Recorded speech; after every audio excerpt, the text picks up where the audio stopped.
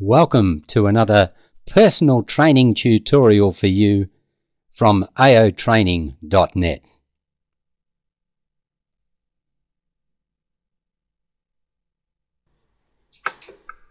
I'm going to give you a brief overview of the PowerPoint uh, screen and also the way that it uh, interfaces with you as the user. There's a lot of features here and when you first look at it, you might be a little bit overwhelmed. But I'll take you through them just slowly now to show you how you can get started. We have our menu bar up the top. Then we have our toolbars sitting underneath that, where you'll be able to access many, many features.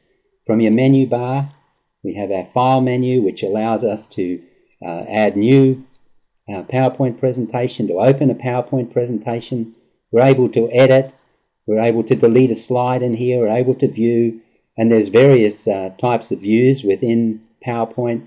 We can have a normal view that we've got there, slides sorter. We won't go through all of these, but they're all available. Insert, and in later tutorials we'll be using all of these that you see, even the slideshow, and setting up the slideshow. How do you want it to appear? So if we go into slideshow view, there we are. To get out of it, we go escape. Now, slideshow view is very important because if you're presenting a presentation, you're probably going to be using slideshow view. If you put hyperlinks in or videos into your PowerPoint, you'll definitely be using slideshow view. And so on. We have our drawing toolbar, our stand uh, down the bottom here, our standard and formatting toolbars up the top that you can see here and that will that is all you need. If you if they're not enabled, go through to View and to Toolbar, and you can just click whatever it is you want to have visible on your screen.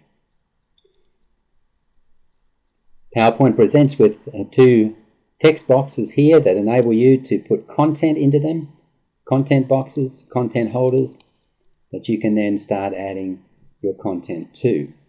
Well, in getting started, there's a couple of things you should know. You can start your PowerPoint in a number of views. This is uh, at the moment in the what's called slide view. And so if we were to insert another slide, we just go insert new slide. We see here the two slides and we can toggle between each slide that we're looking at in here. There is also what is called an outline view. I'll just click that. That enables you to work on your presentation as a whole, to add new slides. For instance, if you just tab enter here, a new slide is added. If you wish to add text, then you just start typing your text. And you see it appearing in your slideshow here to the right. If you wanted to put it in as subtext, you just go enter and then tab and it will appear as subtext for you. I'm sorry, we're just going.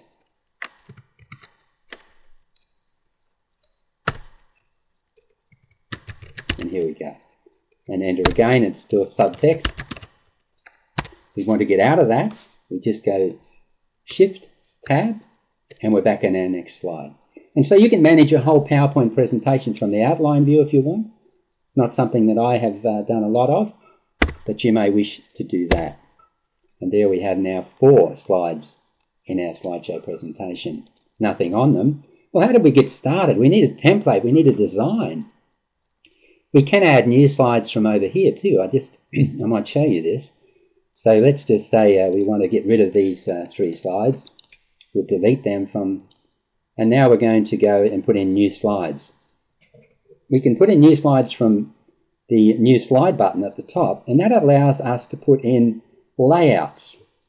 Now layouts are predefined setups that will enable you, for instance, you might want to put in a content layout that has a number of things in it. And here we have a content layout that uh, is, we can apply it, insert a slide with it, we'll do that. And here it is. If we get in here and we start clicking, we can put in a table, a chart, clip art, all of those features. We can even insert a media clip in here if we want. So it will just depend on what you want to do. You can set your, uh, your PowerPoint slides up accordingly. And even right down the bottom, you'll find there'll be templates to um, to add that are very interesting. You can put in an organizational chart, for instance, which is, let's say we put in this one here, and then you can start to add information that you might want to that chart. So we're getting the idea of what we can do with uh, PowerPoint. There's a whole range of features that's so beautifully set up for us to use. What about if we now want to add a design? We just go to design. Let's choose a design that we want. Well, what about this one? And that will apply that to every slide that we have in our presentation. Isn't that interesting? So there you go. Down the bottom we have our drawing toolbar, all the features that we would still see, our text boxes. The interesting difference with our text boxes is that they present with a transparent background in uh, PowerPoint, unlike with Word and other documents, so that you can just type straight into them and the information is in there for you. Our shapes are a little different. You can, of course, make them transparent, but they present and act exactly as other shapes do. So that's just a brief overview um, as to what you might want. You can use the normal view we've used here. You can have uh, this uh, sort of view, or you can have the full screen presentation, slideshow presentation that you see here. So I hope that's helped you. This is Trev from AO Training. Thanks for joining us and thanks for listening.